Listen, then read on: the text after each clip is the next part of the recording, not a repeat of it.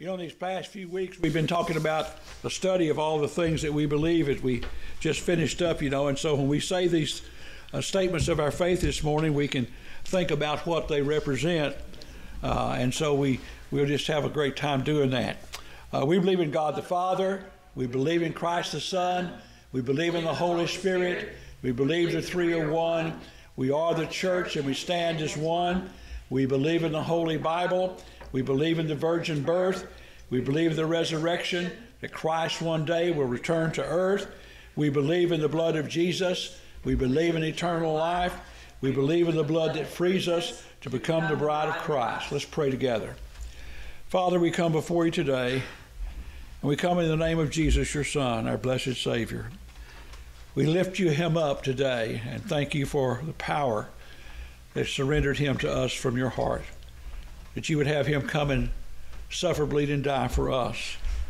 And Lord, as we come before you today, we come with a great heart of thanksgiving for this gift of Jesus, for this great love that prompted the gift, and for the power that we have in our lives as we look to him and we come to know you through him. And we have an indwelling spirit that seals our souls in the moment we trust him by faith. We ask now that you would open our hearts and minds by your Spirit. Guide and direct us this morning as we search through the love letter of God that will bring us ever nearer unto Him. May our hearts be encouraged. May our lives be cleansed. And may our hope be everlasting. And we ask it in Jesus' name. Amen. You may be seated.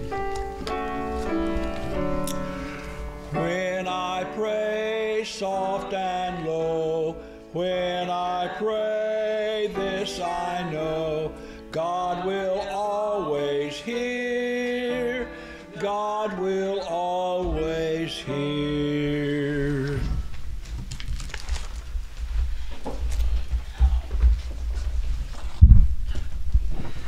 Good morning.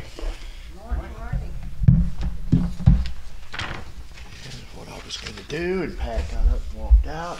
Well, she'll be back in a second. Okay. Till such time,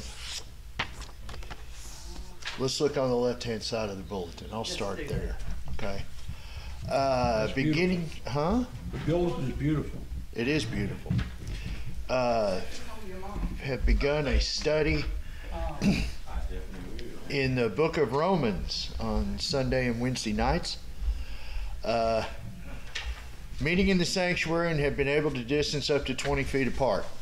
Yes. Okay, now, w- w- when this is all over and you're still distancing 20 feet apart, maybe we need to talk about showers A blessing. A blessing, okay? So, anyway, Romans is a wonderful, extremely interesting book. Um, so, we encourage y'all to come be a part of that on Sunday nights and Wednesday nights. Um, True Options campaign, right now, we've got it running through July the 1st. Uh, sad statistic here that abortions kill more people daily than anything else in the world. That is. Uh, that's a depressing fact. Uh, then the sad thing is, it's been like that for years and years and years. Um, so our baby bottle campaign is going on through at least July the first. Our goal was uh, is seven hundred dollars, which I think we'll be able to uh, more than attain and probably surpass. Amen. Um, and if all that money just helps change one young woman's mind, Amen. it is more than worth it. Yes. Okay. Now that we've got Pat back, Sorry. that's okay. Mother Nature called. I understand. Speaking of mother, all the mothers here stand up, please. Happy Mother's Day to all of y'all. All of you. It is the most underappreciated job in the world. Yes. It is probably the most demanding job in the world. Yes. And Dena says the most rewarding job in the Yes. world. So we appreciate y'all more than you can ever know. Amen. Um, now that I've done that, uh, I and, and my mom and dad don't even know this yet because I haven't told them. Okay. Okay. As of this morning, actually it was last night, but I didn't see it till this morning because I crashed early last night. As of last night, I have been enshrined in and made an official ambassador of the National Sport Karate Museum. Amen. I had absolutely no idea this was going to happen to me. Um, myself and my good martial arts brother, uh, Mr. Chris Landino from my school, both of us were honored by Professor Gary Lee last night, who is the founder, curator of the National Sport Karate Museum that's located in Houston. Uh, made both of us ambassadors of the Sport Karate Museum. Amen. So I apparently will have a picture of me and my name and everything in the Sport Karate Museum from now till the end of time. Amen. Which, uh, great, great honor. You all know that my induction ceremony into the Hall of Fame in, in Las Vegas was canceled. We are going to do it online, but it's not going to be the same because I can't sit next to Chuck Norris. But that's okay. but this kind of helps make up for it a little bit. Yeah. Um, we're having a uh, a big event in late September. Hopefully, we'll be able to have it in Houston, where I have uh, been invited to come compete with some of the best karate guys in the world. I'll probably be the only Taekwondo guy up there, like I was last year. But it's an invitation only event. Last year there were only 19 of us out of the entire country invited, so I feel extremely honored and humbled and blessed to participate in that and then to be named one of the ambassadors of the Sport Karate Museum. That's that's a huge honor. So uh, I got a lot to be thankful for. Yes. So Amen. All of us do. all of us do. Uh, we're uh, we made it another day above ground, so we're another day closer to this foolishness being over with. Um, I'm not saying it's not real. It is very real. I don't think it's quite as bad as what the government is forcing down our throats Amen. but that is Satan manipulating the people in places of power to try to gain control over us. Okay? Remember, when sick people are told to stay at home, it's quarantine. When people that are well are told to stay at home, it's tyranny. Amen. Right. Okay? We are smart enough as a people to know how to deal with this without having to be confined and having our rights taken away from us. And I just want to say the bravest person I have seen all week long was the salon owner in Dallas, Texas that said, I've got to feed my children, my employees have to feed their children, and uh, no judge, I am not going to apologize for opening Amen. my store up. And wouldn't you know it, 24 hours later, the Texas Supreme Court said, uh, You're going to let her go. And the next day, I thought it was neat that Senator Ted Cruz showed up and said, I need a haircut.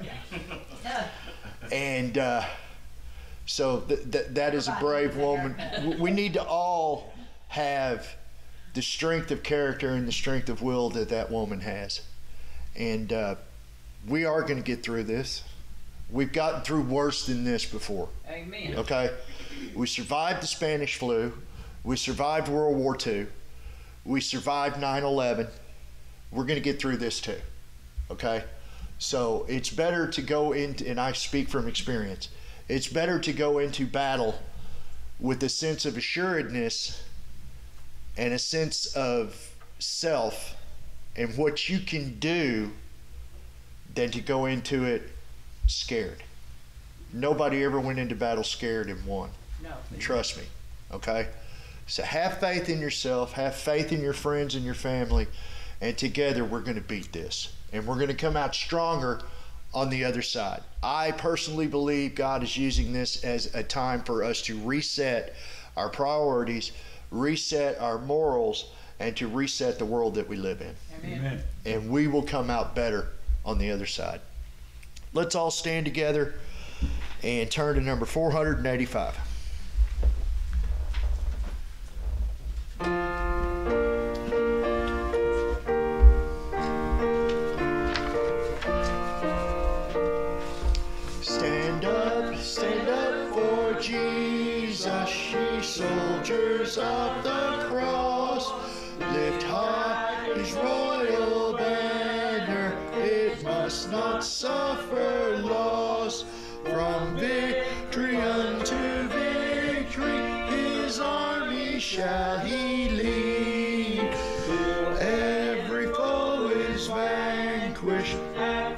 Christ is Lord indeed.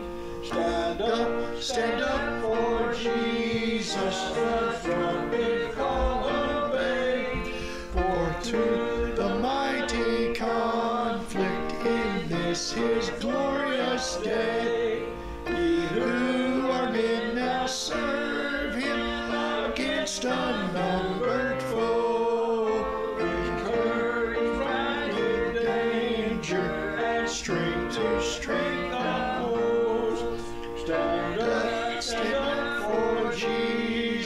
the strife will not be long.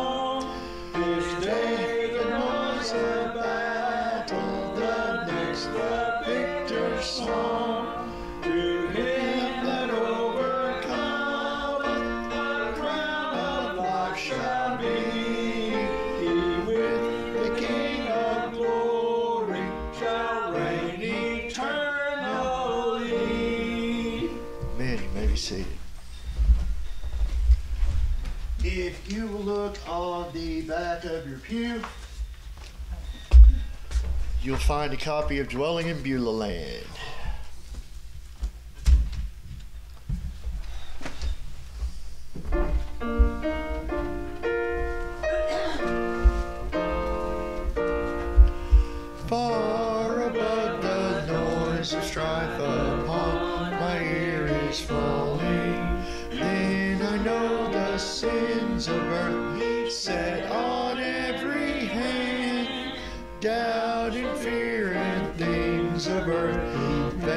To me are calling. None of these shall keep me from Beulah land. I'm living on the mountain underneath the clouded sky. I'm drinking at the fountain that never shall run dry. Oh, yes, I'm feasting on the from bountiful supply, for I am dwelling in Beulah land. Far below the storm of doubt upon the world is moving. Once a big in battle, enemy withstanding. Safe am I within the castle of God's word retreating. Nothing then can reach me. in Beulah land. I'm sleeping on the mountain underneath the cloudless sky. I'm drinking at the fountain that never shall run dry. Oh, yes, I'm feasting on the manna from a bountiful supply, for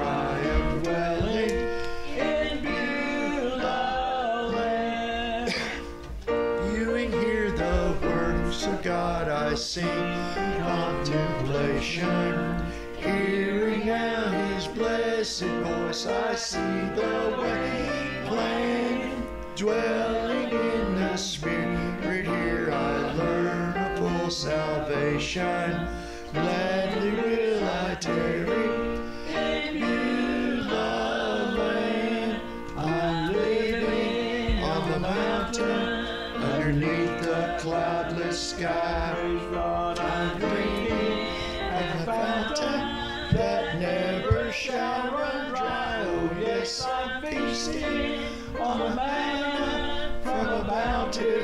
Supply, for I am dwelling in Beulah land. Amen. Is anybody else hot in here? Or is it me? No, it's a little warm.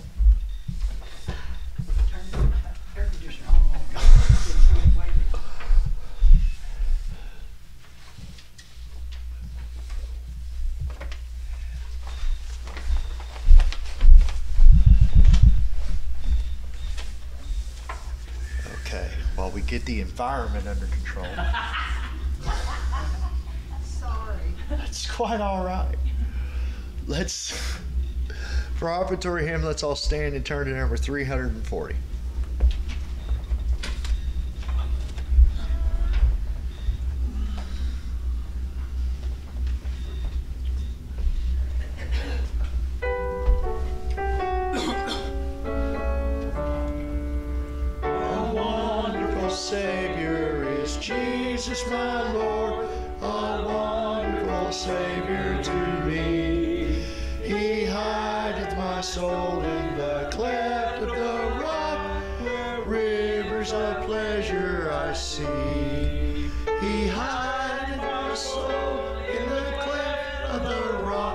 That shadows a dry, thirsty land.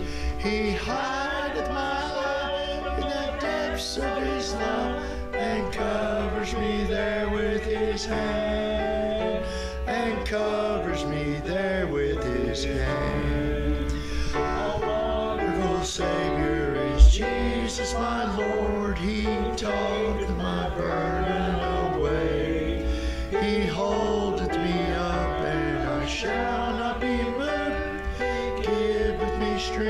My day.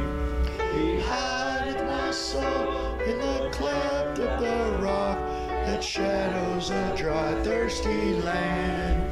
He hideth my soul in the depths of his love, covers me there with his hand, and covers me there with his hand.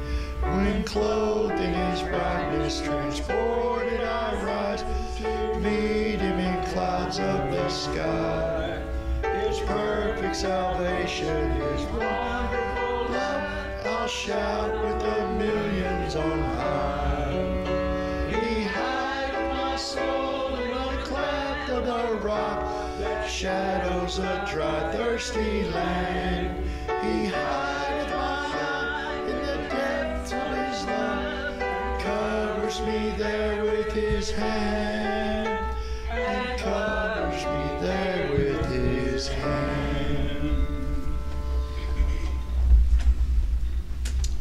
Join with us as we pray. Heavenly Father, we're grateful today. As we look about among us today, and our numbers are small, but our hearts are full of your leadership and guidance of spirit, and the blessing of knowing your Son as Savior.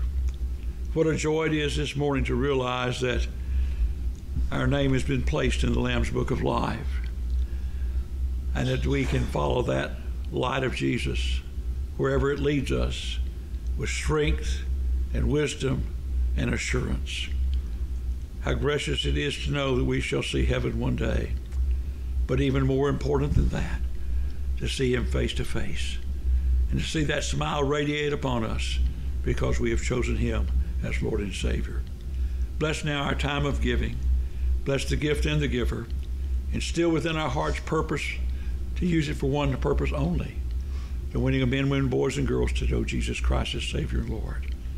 I thank you this morning for those who prayed for me when I was lost. I thank you for those who shared with me the gospel message.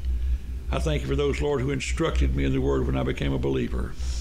And the wonderful call of God to share that gospel message with others before me in Jesus' name. Amen. Amen.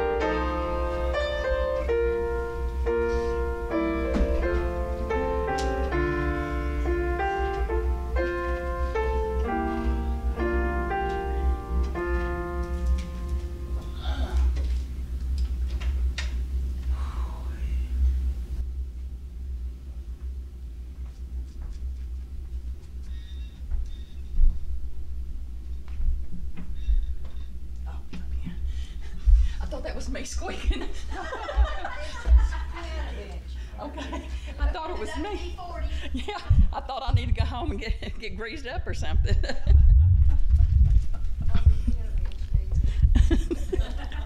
we'll get right on that. Good morning, y'all. I was going to sing, a, try to find a song about mamas this morning. And I thought, you know, as important as mothers are, I'm going to sing about my father. You know, because we're, we're important.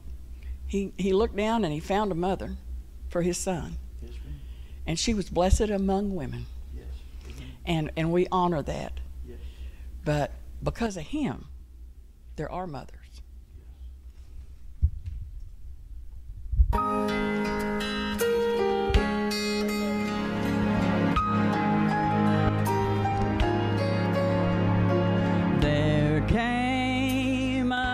Sound from heaven like a mighty rushing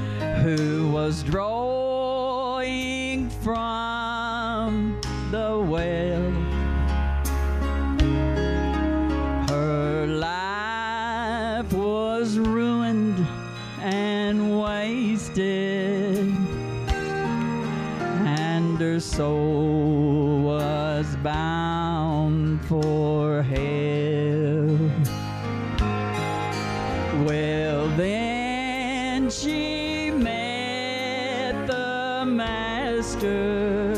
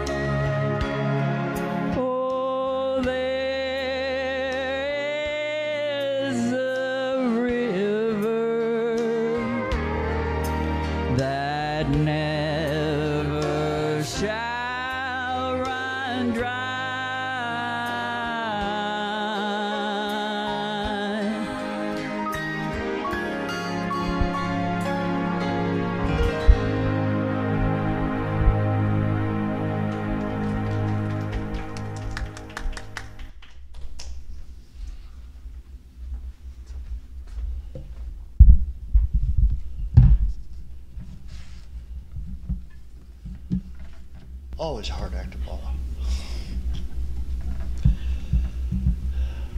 Just before the sermon, let's all stand. Number 244.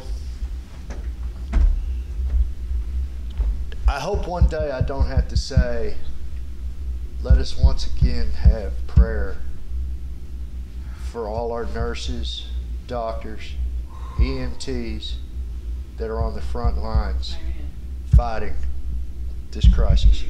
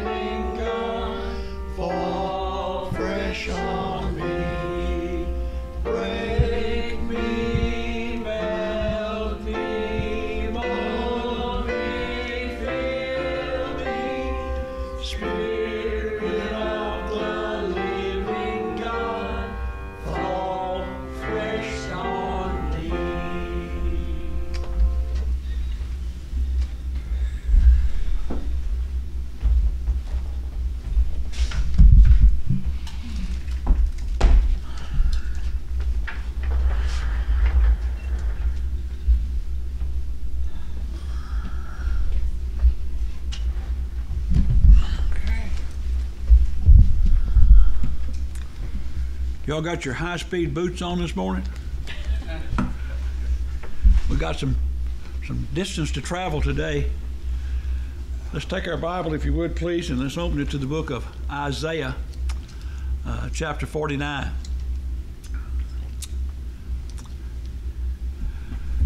One of the things that we have to think about just a little bit from time to time is doing what God asks us to do.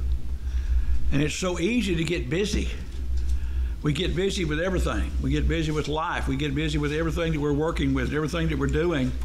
And sometimes we forget the things that God has really asked us to do. And so here at Isaiah 49 in verse 1 it says, Listen a while to me and hearken ye, me, ye people, for, for the Lord hath called me from the womb, and from the bowels of my mother hath he made mention of my name. He hath made my mouth a sharp sword, and in the shadow of his hand he hath hid me. He hath made me a polished shaft in his quiver, that he has hidden me. And he said unto me, Thou art my servant, O Israel, in whom I will be glorified. Now, today we look out across the Jewish nation, and they're not glorifying God, but God said there will come a time when out of that house of his lineage, there will be a, a glorification of God in that particular time. We also look at verse 5, if you would with me, please. And now saith the Lord that formed me from the womb to be his servant, to bring Jacob again to him. Though Israel be not gathered yet, shall I be glorious in the eyes of the Lord, and my God shall be my strength. I want you to notice that in your Bible today. God is your strength. You can't have strength anywhere else. A lot of times we try to have strength within ourselves, and we know that doesn't work. We can't have strength in mankind himself because that never does work.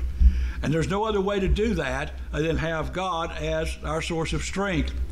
Now, there's a couple of things about that God says about us when we choose Him as our strength and as our Lord and as our Savior. Look at verse 13 of the 49th chapter. Sing, O heavens, and be joyful, O earth. Break into singing, O mountains, for the Lord hath comforted his people and will have mercy upon his afflicted. Now, two thoughts are in the last phrase. The Lord has comforted his people. That means we belong to him by faith. And he will have mercy upon us because we're going to be afflicted from time to time.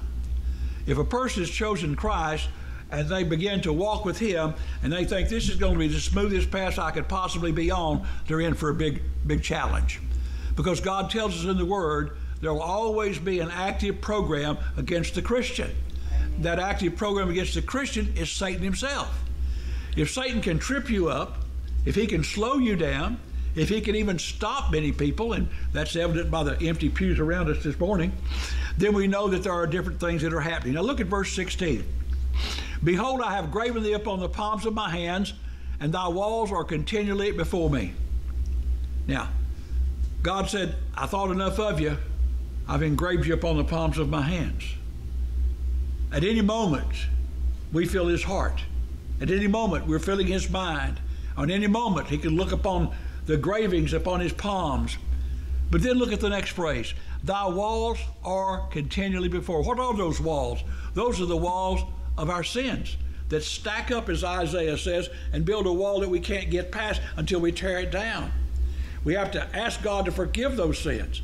We have to ask God to, to clear those sins out of our lives. We have to ask God to, to let God do the thing He is best at doing. And chapter 50, there, the fourth verse, the Lord hath given me the tongue of the learned that I should know how to speak a word in season to him that is weary. Not a person in this room today could not tell someone how to trust Jesus. Amen. Think about that. And what do we do when we tell someone about Jesus? We are speaking a word in a season of his need or her need, and they're weary because they don't have an answer. I was just reading this week, matter of fact, yesterday, that the rate of depression in America is higher than it has ever been. And the reason for that is, is because people don't know what to do. They don't know where to turn. They don't know whom to seek out. And so they are they're frustrated with themselves. They're frustrated with the world around them. They're frustrated with the institutions. They're frustrated in all these areas. And it brings great depression on the people. But see, the people of God don't have that. I met a woman one time, and she talked about her depressions. Uh, and, and she said, I'm just so depressed. And I said, Why? Why are you depressed? Well, she said, Life's just not going very well. I said, Well, are you hurting? No. Are you able to get up?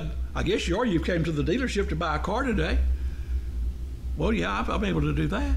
I said, Do you ever go to the grocery store? Yes, I go to the grocery store. I said, Do you have any friends? Yes, I have friends.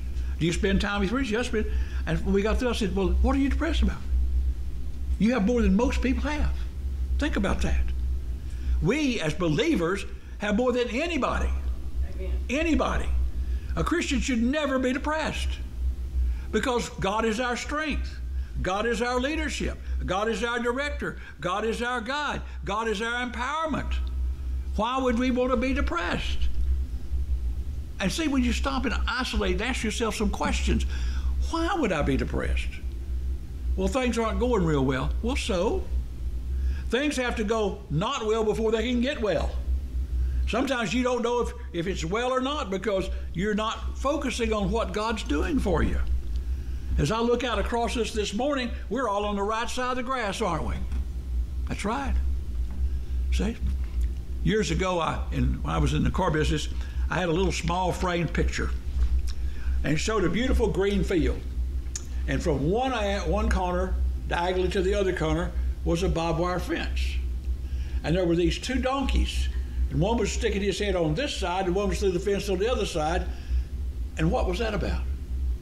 The grass is always greener where? Over there. But it's not. See? The grass you wouldn't eat on the right side, the donkey on the left was enjoying. The grass that the The donkey on the left side was enjoying was what was left by the other donkey, and he was enjoying. The grass looked just exactly alike. So sometimes we say to ourselves, I wish I had such and such, but would that really make you happy? Would you cannot be fed? Why could you not be fed with where you are? Because God's going to bring you what you need anyway.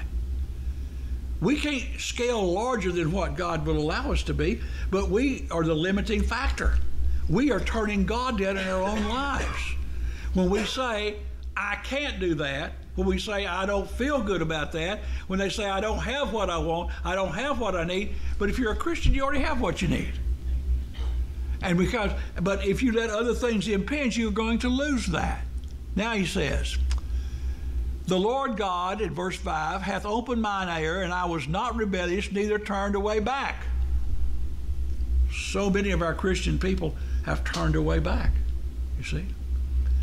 They are letting other things step between them and God. And the Bible teaches us if this is God and this is you, and this microphone's between us, something's between me and God. I need to be over here. Each one of us. Think about this. I hear a man just a few weeks ago saying to somebody, wasn't talking to me, but he said, You know, some of these church people are so wrapped up in God, they don't know what else to do. And I said, Hallelujah. and he looked at me, We was at the gas station. And he said, What'd you say? I said, Hallelujah. What could you be wrapped in more than God that would be any better than that?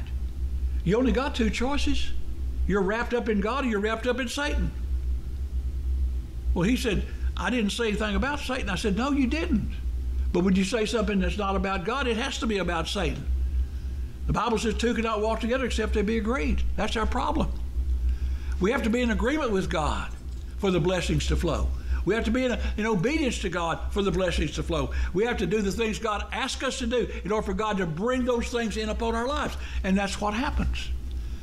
I gave my back to the smiters and my cheek to them that plucked off the hair, and I hid not my face from shame and spitting. Who do you know described like that? Jesus. His name was Jesus, wasn't it? What did they do? They slapped him on the cheek, pulled the beard from his, from his cheek, pulled hair out of his head, and I did not hide my face from shame, and they spit upon him. Now, a man get away just about anything with me, except if he ever spits on me, we got a, we got a battle. I may not win, but we'll have a. He'll know he's been in the battle. The Lord will help me, therefore I will not be confounded. Don't let the world confuse you. Every day, as a believer, whether you're carrying a small New Testament, which I suggest we should do, or a full copy of the Bible, and things begin to come in on you, and they do all of us.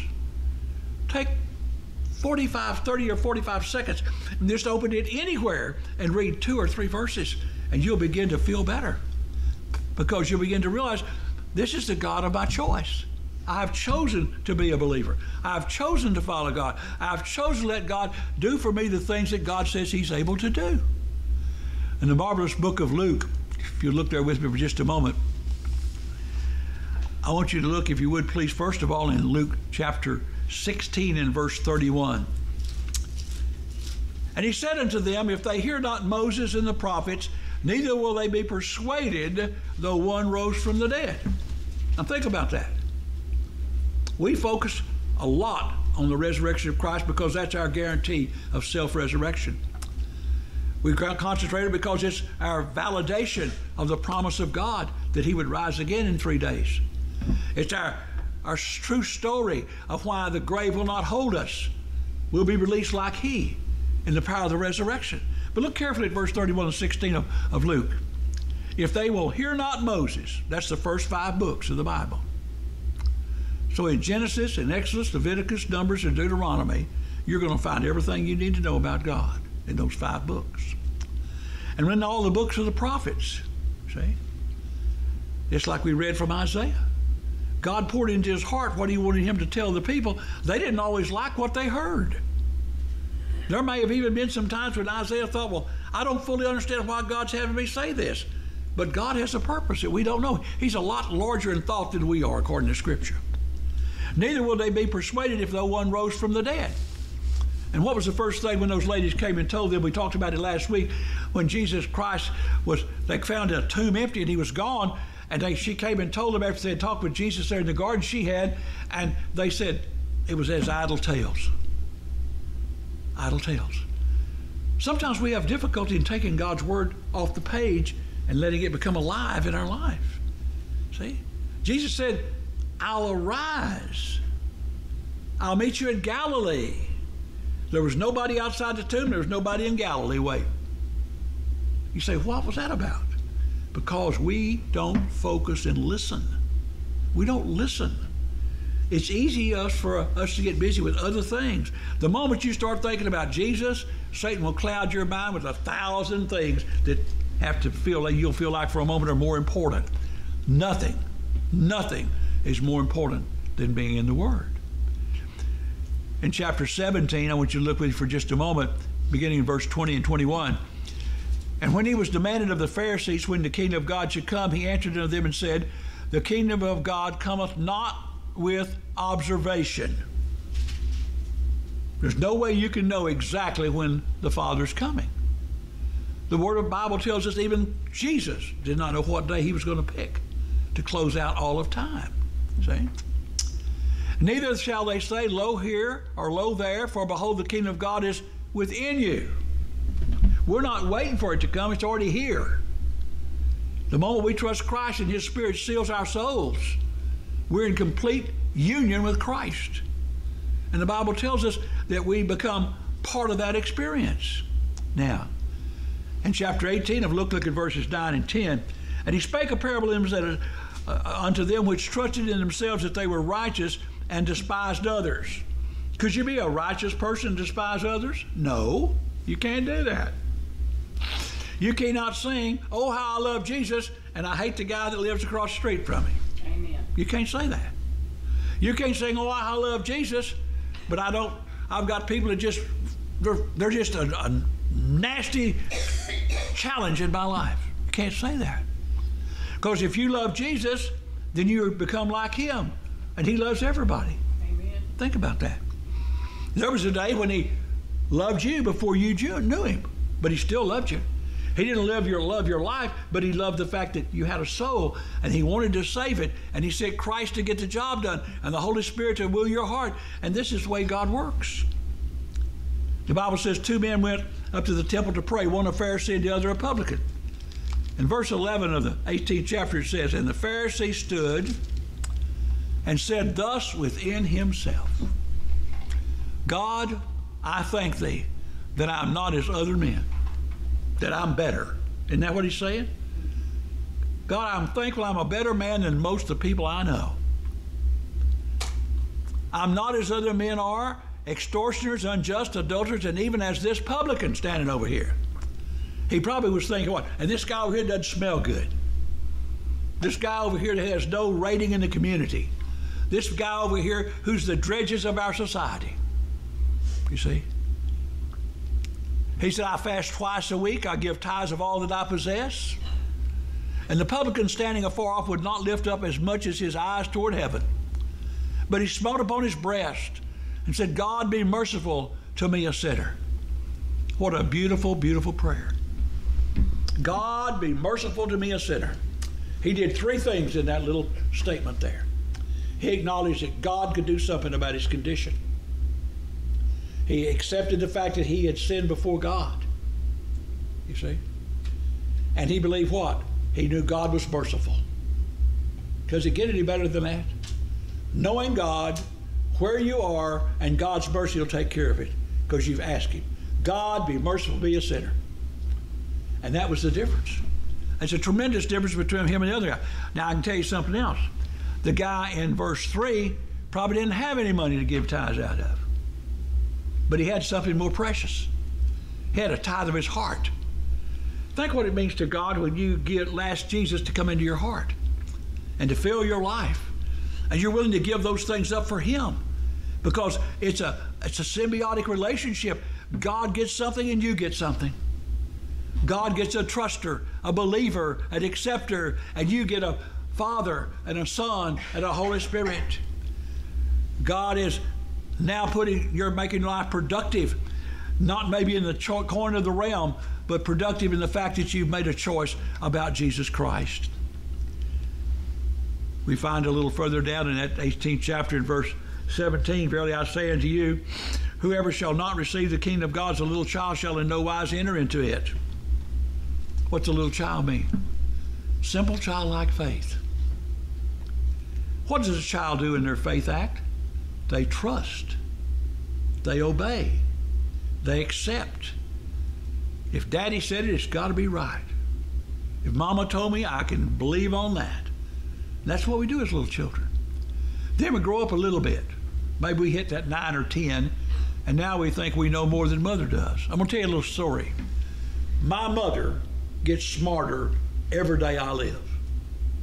She really does. As I look back, the things I thought she didn't understand, she do a whole lot better.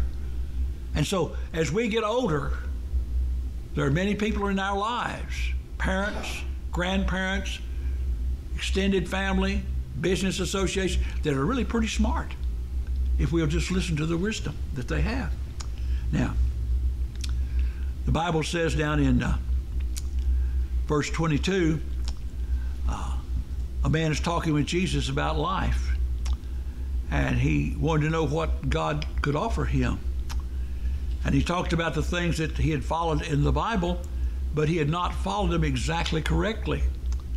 In verse 21, he said, All these things have I kept from my youth up. And now, when Jesus heard these things, he said to him, Yet you lack one thing. And the man knew he lacked something. You know?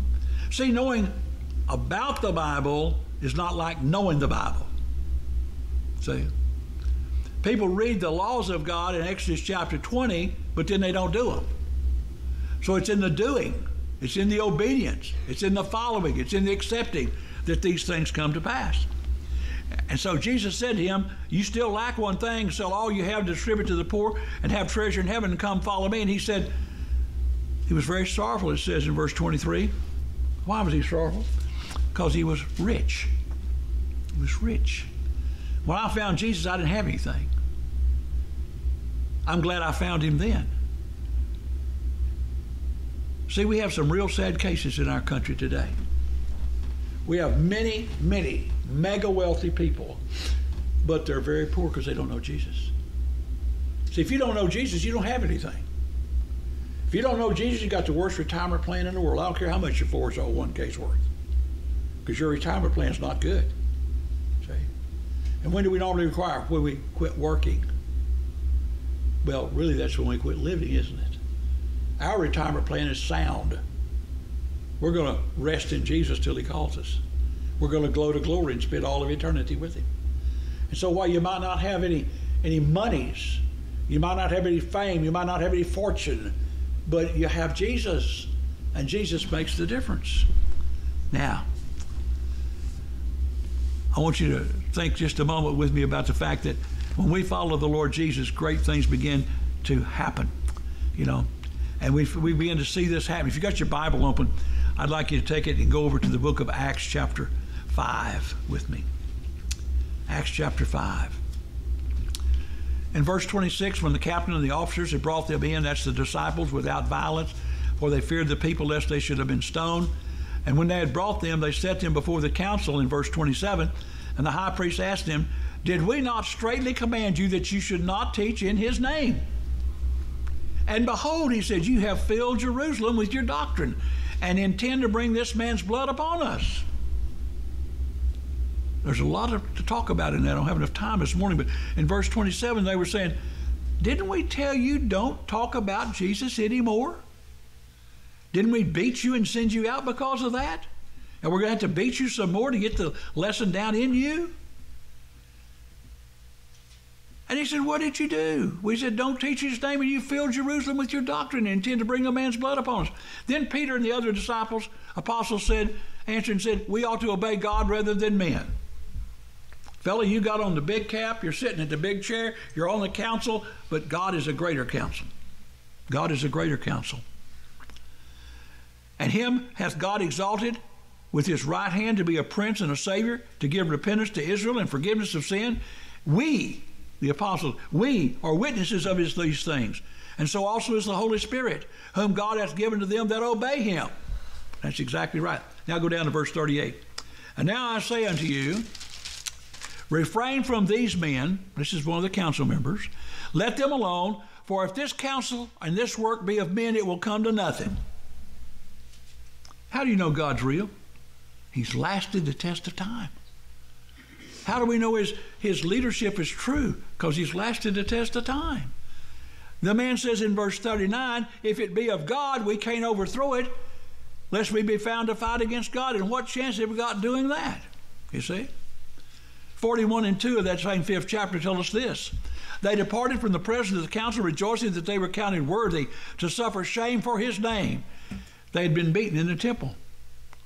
And daily in the temple and in every house they ceased not to teach Jesus and to preach Jesus Christ. Not to teach and preach Jesus Christ. Every day they went out and did the same thing. They just got beat for the second time. See?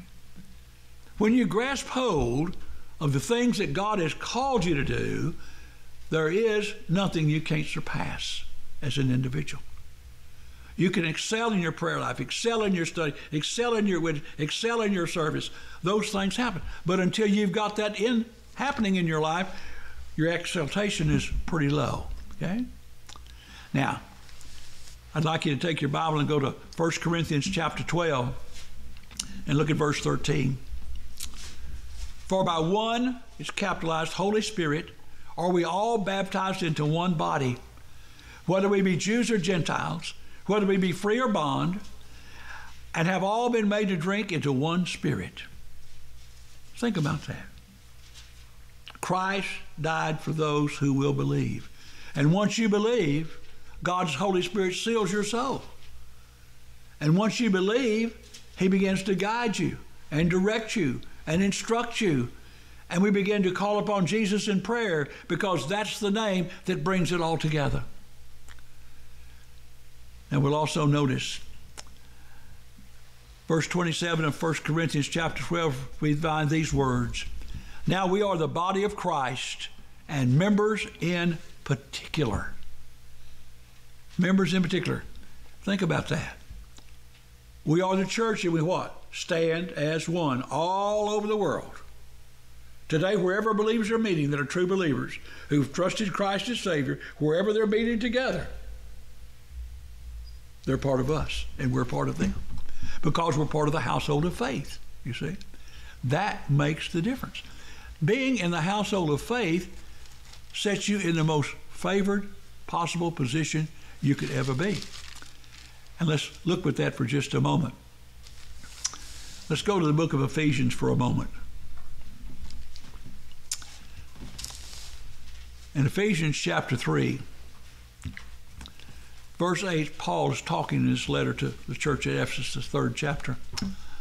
Unto me, who am the least of all the saints. Paul never puffed himself up, did he? He said, I'm the least of all those serving God. Is this grace given that I should preach among the Gentiles the unsearchable riches of Christ? I'm the lowest man on the totem pole, but I got the greatest job that I should preach by God's grace the gospel to the unsearchable riches of Christ. The Bible says in verse 12 of that text, in whom we have boldness and access with confidence by faith of him. Think about that. And in verse 46 it says that he, Jesus, would grant you according to the riches of his glory to be strengthened with might by his Holy Spirit in the inner man. Oh, how exciting that is. But I got a little sad verse to read you in chapter 4. It's verse 30. Paul says to the believer, Grieve not the Holy Spirit of God, whereby you are sealed unto the day of redemption. How could we grieve the powerful Holy Spirit? Simple. Just like we grieve Jesus. What do we do? We listen, but we don't obey. We, we say, Yes, Lord Jesus, but then we don't do what He tells us to do. That grieves the Holy Spirit. When that Spirit tries to direct your mind to Scripture, or direct your mind to witness, or direct your mind to service, and you don't do it, He's grieved by that. It's a sad day for Him, the Holy Spirit, when the people of God do not respond as they should favorably unto the Lord. Now, I want you to take your Bible. We're just finishing up in 1 Thessalonians, the second chapter. Verse 4 of the second chapter says, But as we were allowed of God to put you to put in trust with the gospel, even so we speak, not as pleasing men, but God which trieth our hearts. Verse 13 says, For this cause also we thank God without ceasing, because when you received the word of God which you heard of us, you received it not as the word of men, but as it is in truth the word of God, which effectually worketh in those that believe. There's effect in your life when you trust Jesus. The gospel makes your life different. The gospel makes you different. The gospel hopefully can make those around you different because we are different people when we listen to the gospel of our Lord Savior, Jesus Christ. And then lastly, I'd like you to look with me in 2 John verse 9. 2 John verse 9. Whosoever transgressed and abides not in the doctrine of Christ hath not God. When sin rules your life and you don't turn to Jesus and you don't let Christ wash you free by his shed blood at Calvary, then you don't have a relationship with God. He that abides in the doctrine of Christ, he hath both the Father and the Son. So this is kind of what Jesus said. You're either for me or you're against me. Now think about that. No one tells me I'm against God or I'm against Jesus. But they don't have to tell me because we know, we see, we observe. We, we, we don't see that interaction of Christ in their life. We don't see that Holy Spirit leadership. We don't see that obedience unto the Father's word. That's the difference in our world today, you see. In our world today, as we fight this horrible coronavirus, this great pandemic, and we've lost thousands to this disease. But stop and think for a moment. How many people left this earth's experience yesterday who didn't gain heaven? Who didn't gain heaven? They left not knowing Jesus. They left in rebellion. They left in a position where they were not acceptive of Jesus Christ. And that's a far greater thing than getting COVID 19. You see, it's far greater. If we would just look, and I heard somebody talk about it a little bit on television the other day, if we would just look at, nobody's happy we're losing people to COVID 19. We're not saying that. But what we're saying is, every day we have tens of millions, perhaps even hundreds of millions, every day that leave this earth experience and head out into eternity to one day face God in judgment. And they don't know Jesus. They have no hope. You know, Paul said, if Christ be not risen, we are of all people. Our faith is in vain. We're of all people with no hope.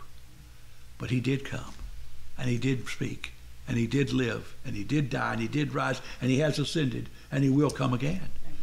And that's the joy. What do we have in store for us? The greatest of all days of victory. Greatest of all days. The other day we pulled up behind a car and said to Annabelle, There's some people of faith. And she said, People of faith? I said, See that Dallas Cowboy star in the back window? That ain't going to happen. But they believe it is. You see? They believe it is. I guess the longest bet in the world, I think, in my own mind, would be in the next five years that Dallas would win the Super Bowl. It ain't to happen. But they believe it, so they put that saying on there. See? Well, we believe in a greater. We believe in Jesus. You don't see our star, but you see the blood of Jesus. Think about that. It's positive. It's protected. It's guaranteed. It will happen. Nothing can stop it. Nothing. The devil on his best day cannot stop the victory of Jesus. You see. And God put it in this wonderful book so we can just go to it anytime we want and feast on it and read it, study it, pray over it. But most of all, remember this. When we sing that song, Victory in Jesus, I heard an old, old story how Savior came from glory. He gave his life, Calvary, to save someone like me. That's the story. And just be reminded of that this week, you see, that there was a time when God called upon you and how blessed you are to have said yes to the Savior. Lord Jesus, we pray this morning that you look upon us with favor, that our needs might be met at the spiritual level, that would excite us and thrill us with the joy of being born again, of knowing our Lord Jesus Christ, having one who hears and answers our prayers, hearing one who cares about us far beyond everything else, more than our families, more than our friends, more than our government, more than our world, because we have a personal living relationship by faith with our Savior Jesus Christ. Lord, we thank you for loving us. We thank you for living for us and dying for us. We thank you this morning, Lord, that you would rise and go back to prepare a place. And we have your promise, the promise of the Son of God, that you will come again. And we look forward and praise you to that day and that hour. We ask now that you look upon us with favor, and if one among us have need of Jesus Christ today in this place, this would be their day. In Jesus' name we pray. Amen. Stand with us, please. 294.